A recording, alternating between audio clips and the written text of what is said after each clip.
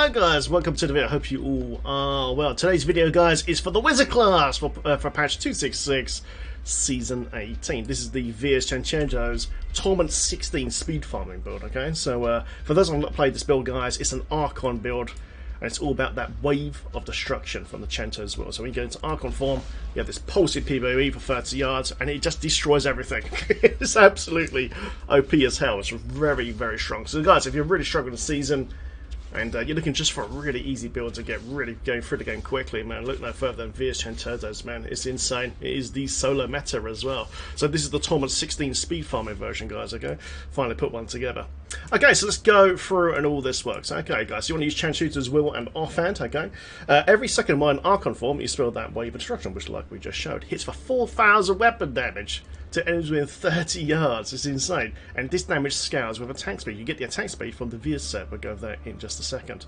Every time you hit an attack while not in Archon form, your 4,000 weapon damage is added to the wave of destruction, stacking up to 20 times. Okay, so when you're out of Archon form, you spam Arcane Torrent, which is this really cool skill here. You start getting more Chanto's Resolve stacks, okay, and that will increase your DPS or your PBE while you're in Archon form. But for, for Torment 16, guys, you don't have to go to 20 stacks. Even with completely unall gear, no Paragon in main stat, you know, five stacks, it's more than enough. You'll be pretty much one-shot in everything. It's, it's insanely cool.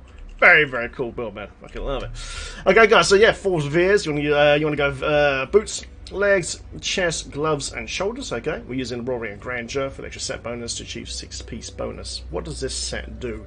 Two set bonus. Archon gains the effects of every rune. Okay, so you get combustion for the AOE, teleport, pure power for cooldown, slow time. So uh, the bubble and the um, the arcane blast that you're spamming all the time follows you, which is great. Then improve Archon for the extra 50% increased damage. Leave it though on the cold rune which is slow time. Leave it on this range, very, very important to do that, otherwise you might run into issues. Four set guys, Archon stacks also increase your attack speed, armor, and resistances, okay? So when you're in Archon form, the best one you want to use is Frozen Strike, okay, which is basically the left click melee attack. It's a small AoE, okay? But it hits multiple enemies at once. And as you're doing this, you'll start getting more Archon stacks. The more stacks you have, the more damage you have, more damage reduction, and attack speed, okay? You to a juggernaut. You can also stack with the Disintegration Wave as well. Bubble will slow enemy projectiles, and then right at the end there you got the uh, the little blast, which is an instant spell that you can just spam all the time. It's an instant one which uh, also stacks do stacks. So as you're blasting through the enemies, you just be pun- you just punching that AOE all the time. We'll show it in a second, but it's very very cool.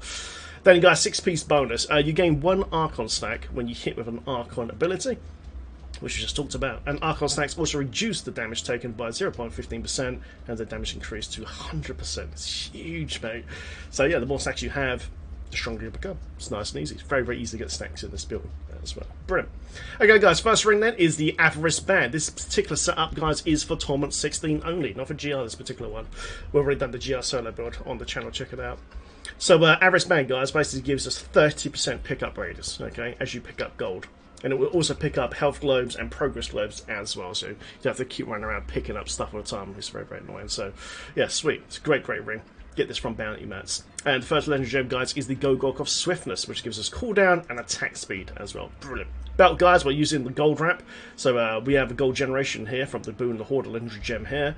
Okay, so um, every time you kill an enemy, you get a big pile of gold. And then you pick that gold up by using the Avarice Band, just run over it, and you get a massive extended bubble pickup radius. And then you become indestructible for 5 seconds when you pick up gold with the gold wrap belt. It's brilliant. It's absolutely fantastic. So you're completely indestructible. I try to make this uh, build, guys, as newbie as possible for newer players. But we go with some other versions of this build where once you've got some orgs and decent Paragon Man, you can start changing some stuff out to be a bit quicker. Brilliant. Next ring, guys, Roaring Grandeur, which is the six, six piece set bonus here. Next gem, of course, is the uh, the Bane of the Trapped for the massive damage bonus. Last draw piece, guys, is Squirt's Necklace. Squirt's Necklace got changed. It now gives you a 100% damage buff, which is this thing right here. But you will, uh, if you get hit, though, you take 50% more damage. Okay, I know it sounds horrible, but you got to be careful. But don't worry, uh, Galvanizing Ward makes it so um, you will never lose your Squirt's damage bonus.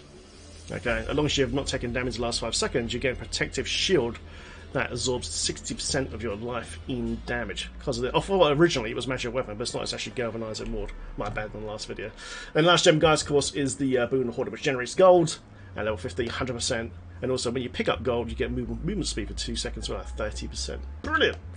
Uh, Helm Guys use Swami. This keeps your previous Archon stacks for 20 seconds, or up to 20 seconds. Mine was pretty crap, but you don't need it to be absolutely GG rolled. And uh, make sure you put a diamond in the helm as well, guys. You want as much cooldown as possible in the build. Brilliant. Braces, guys, Nemesis, summon extra elites of uh, pylons, etc., etc. Easy peasy. Nice. Okay, what's in the queue? Okay, guys, to make this nice and newbie as possible, I've put in the new Messerschmidt's Reaver. Okay, so uh, as you kill enemies, you get cooldown from one second to, well, as you kill, basically to your skills, but as you kill enemies. So um, this allows you to get going straight back into Archon form straight away. Okay, absolutely straight away. There is some other better options those for speed, like Ingeom, for instance. Echoing Fury is really, really nice actually. As you are killing enemies, it gives you a 75% attack speed buff once you kill five enemies, and that lets you stack Archon extremely quickly. And also, uh, Fury gives you 25% movement speed buff as well. So you can opt to this a bit later once your gear is really, really good and you don't mind spamming Arcane trying to get back into Archon form. We'll go over that in a second. But when you first start off, guys, just use Messerschmidt's Reaver, man. It's nice, nice and easy, man. Nice and easy. Lovely. You can use it Ingeom as well if you want to. It's always a good option as you kill elites for cooldown reduction as well. Okay, guys, for belt, you want to use Fazula's Improbable Chain. Put this in the cube because that way you get yourself a guaranteed 50 Archon stacks as soon as you go into Archon form straight away. Brilliant. And then, guys, Obsidian Ring of the Zodiac for cooldowns as well on top. So as you spam Arcane Torrent, you can bring the cooldown of your Archon down super, super quick. So if you haven't killed enough enemies somehow, you know, with Messerschmidt's Reaver, this is your backup to get an Archon form extremely quickly. Okay, so basically what you want to do, say you, we've just popped out of Archon form, then you would cast Absolute Zero to suck the mobs into that one spot. You cast your bubble, this increases your attack speed by 10% and slows them down, their projectiles. Then you just spam Arcane Torrent, then Zodiac will proc and refresh the timer of Archon. Then you go back into Archon and just wreck face. Yum, yum, yum. Brilliant. Okay, let's go to the rest of the skill, guys. Arcane Torrent, like I just said, use this to get back into your Archon form by spamming it on enemies to proc your Zodiac Ring. Slow time, stretch time, 10% attack speed buff. Brilliant. Also reduces their movement speed, projectiles, etc., etc. as well. Make sure you stand in to gain the effect. Archon slow time, guys. Make sure you've got the cold rune on here. Storm armor, power of the storm.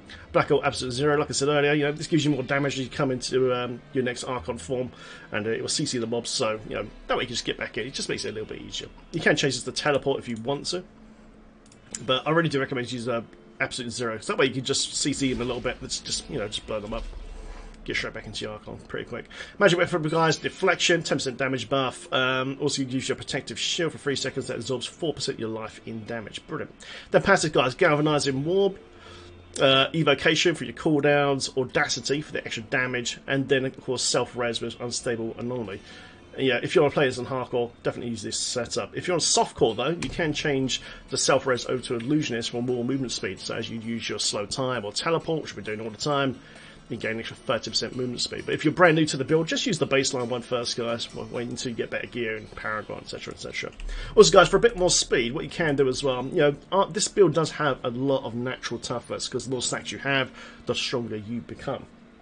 So, um, what you can do eventually is take out Gold Wrap and shove in a Krelm's Buff Belt. Krelm's Buff Belt gives you an extra 25% run speed, okay, which is huge, you know, that's, that's really, really nice. And it'll just let you get A to B and just get through those, uh, gets that keyboard as soon as possible. But when you first start off though, guys, definitely use the, uh, the more newbie friendly gold wrap at first. Lovely. Okay, guys, so uh, let's go do a run. Okay, let's get our uh, magic weapon up. And of course, our storm armor as well. And uh, let's go smash.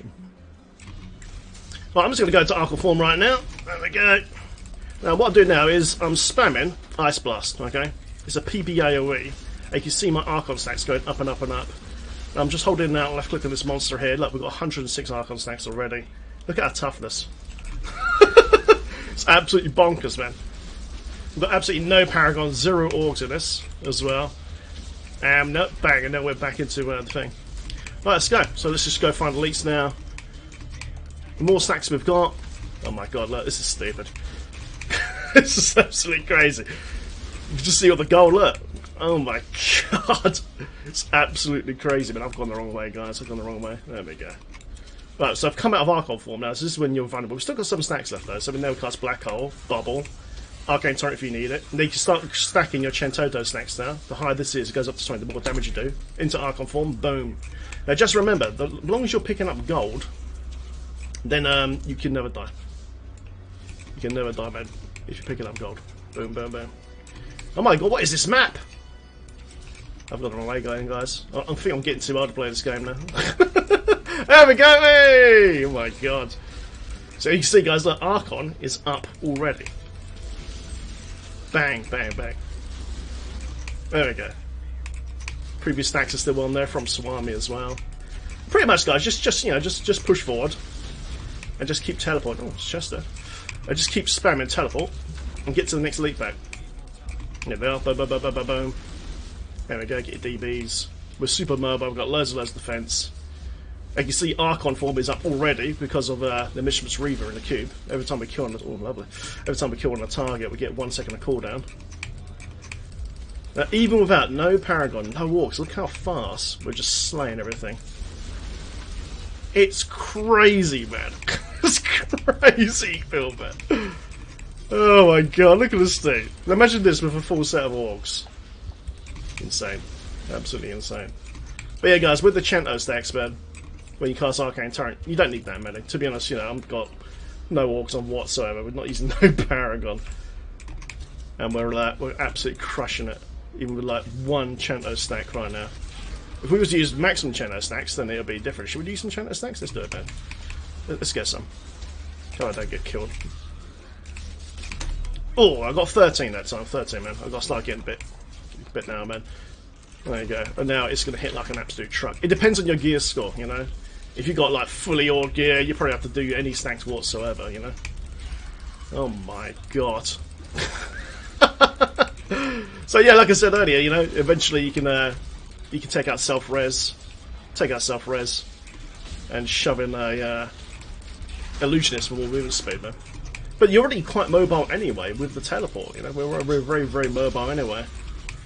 It's crazy. There's Rift Guardian. He won't last long, even with absolutely no good gear. There we go. it's absolutely, it's absolutely disgusting, guys. It's very, very cool. Definitely check this out, guys. It's such an easy build to play. And uh, I've got no Cento stacks, only got one stack there. And we're just absolutely decimating. Oh, another pack here. Loot. As long as you're picking up gold, you can never die either. As long as picking up gold, you never die because the toughness will go through. Look, the toughness is broken. It's gone to zero. it's got too much toughness in the build. Unbelievable. Oh, there you go, guys, man. Really easy, man. You know, it's so, so easy. You don't have to use no Unity in this build or nothing, man. It's just just Facewalk. So, so easy to play. So, yeah, guys, if you're struggling playing the season a bit, or maybe you're a new player to Diablo 3, man, you want just a nice, easy build to get into the game and uh, start smash out, man. Vyr Chantodo's, man, is amazing. Okay, guys, as usual, in the description of this video, there will be a full Diablo fans guide for the, all the best rolls of gear, legendary gems, skills, etc., etc., guys. So check the description of the video, and I'll see you in the next one. Take care, guys. Have fun on T16 on this crazy build. I'll see you in the next video. Group speed will be next. Thanks for watching, guys. As usual, feel free to like and subscribe. Uh, shout out to those subbed me on Patreon as well, guys. Thanks very much. Feel free to like and share this video, and I'll see you in the next one. Take care, guys. Enjoy.